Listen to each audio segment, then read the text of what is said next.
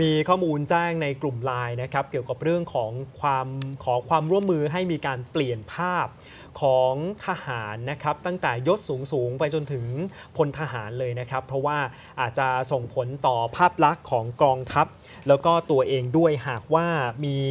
การกล่าวหาว่ากระทำความผิดใดๆนะฮะโดยคือเมื่อก่อนนี้อาจจะสวมใส่เครื่องแบบเต็มยศอ่าแล้วก็ไปถ่ายรูป แล้วก็เอามาใช้เป็นรูปโปรไฟล์อ่าฮะตอนนี้อยากให้เปลี่ยนเอารูปนั้นออกเป็นรูปอื่นแทน เป็นชุดพลเรือนแทนอืม เรื่องอันนี้อันนี้มันมีข่าวที่ส่งเข้ามาในแอปพลิเคชัน Line ที่ส่งต่อๆกันนะครับ แล้วก็บอกว่าห้ามโพสต์ภาพ การดื่มสุราการไปเที่ยวผับหากมีการตรวจสอบพบถือว่าเป็นความผิดสถานหนัก และลงโทษตามทางวินัยด้วยนะครับ นอกจากนี้ครับแต่แปลผู้ว่าสื่อใส่ข่าวชุดไพรเวทได้ครับถูกถูกถูกคืออย่างนี้นะฮะผู้สื่อข่าวก็สอบถามข้าราชการทหารรายหนึ่ง เพื่อตรวจสอบว่าข้อความที่ส่งต่อในไลน์เป็นความจริงหรือไม่เนี่ยได้รับคำตอบว่าคำสั่งดังกล่าวเป็นความจริงโดย โดยตนได้รับคำสั่งด้วยวาจาจากผู้บังคับบัญชาเมื่อช่วงเช้าที่ผ่านมา โดยไม่มีหนังสือเป็นลายลักษณ์อักษร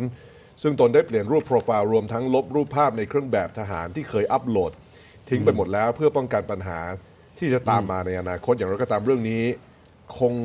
คงให้รายละเอียดกับผู้สื่อข่าวมากกว่านี้ไม่ได้ เนื่องจากได้รับการกำชับ ว่าผู้ที่จะให้ข่าวกับสื่อมวลชนได้จะต้องเป็นข้าราชการทหารยศพันเอกพิเศษ ขึ้นไปเท่านั้นครับแม่ก็ก็ตกลงก็แล้วเป็นตามนี้ใช่ไหมใช่ครับเพราะว่าแล้วแล้วบรรดาคนที่เป็นอวตารครับ ที่เราจะได้รับ friend request กันมาเยอะๆ เป็นดารานักร้องเกาหลีบ้างเป็นฝรั่งบ้างเป็นอะไรอย่างเงี้ยซึ่งเราไม่เคยรู้จักเลย อันนั้นไม่เป็นไรไม่เกี่ยว อันนั้นอันไม่นั้นคือคือมันผมอ้างอิงกันไม่อันได้นั้นเข้าใจว่าเขาแค่ไม่ต้องการให้มีเครื่องแบบไปโผล่ในในโพสต์ที่มีอิริยาบถอะไรที่ไม่เหมาะสมมากกว่า แค่นั้นมั้งครับคือไม่ได้ไม่ครับใช่ คือบอกว่าถ้า อาจารย์วิโรจน์เข้าใจเก็ตผมไหมคือบอกว่าผมสมเข้ามใจติผมใส่ผมเคเข้าใจรื่องแบบนักเรียนเนี่ยแต่แล้วแต่ผมสิ่งไปแต่แต่ทำอะสิ่ไรงแต่สิ่งที่ผมกังวลอันนี้พูดโดยตรงนะหลายท่านอาจจะไม่พอใจเนี่ยก็คือ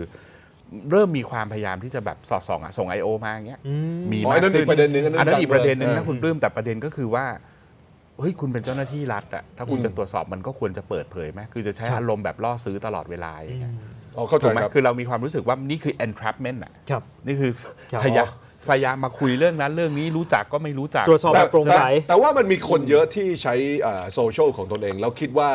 ความที่ตนเองไม่ได้เป็นบุคคลสาธารณะเนี่ยจะโพสต์อะไรลงก็ได้อ๋อซึ่งบางทีเนี่ยแล้วบางทีมีมีภาพอยู่ในเครื่องแบบทำนู่นทำนี่ คือถ้าถ้าไม่ได้เป็นบุคคลสาธารณะอาจจะไม่รู้สึกว่าคนติดตาม แต่ว่าพอมีคนไปแชร์อาจจะทำให้ เครื่องแบบเสียหายครับครับอันนี้อาจจะพันเอกวินไทยสุวารีโฆษกกองทัพบกออกมายืนยันนะครับว่าหนังสือราชการของหน่วยงานหน่วยงานหนึ่งที่ให้กำลังพลเปลี่ยนรูปโปรไฟล์ในโซเชียลมีเดียจากรูปเครื่องแบบทหารเป็นชุดอื่น อาจจะเป็นการอ่าเป็นแนวทางการบริหารจัดการของหน่วยงานนั้นๆ เป็นบางองค์กรเท่านั้น ซึ่งถือว่าเป็นลักษณะยืดหยุ่นในแง่ของการขอความร่วมมือเพื่อให้อยู่ในจุดที่สมดุลและเหมาะสมสำหรับส่วนกลางยังไม่มีการออกระเบียบอะไรที่ โซเชียลมีเดียของกำลังพลเป็นการเฉพาะ มีเพียงการขอความร่วมมือการใช้โซเชียลมีเดียอย่างระมัดระวังเท่านั้นครับ อันนี้ก็ถือว่าเป็นวินัยภายในเขาแหละครับนะฮะแต่ถ้ามันเป็นเรื่องอื่นซึ่งมีการใช้สื่อโซเชียลเพื่อการอื่นๆเนี่ยอ่าผมคิดว่ามันก็ต้องมีมาตรการที่เป็น guideline ที่ชัดเจนด้วยครับผมนะครับ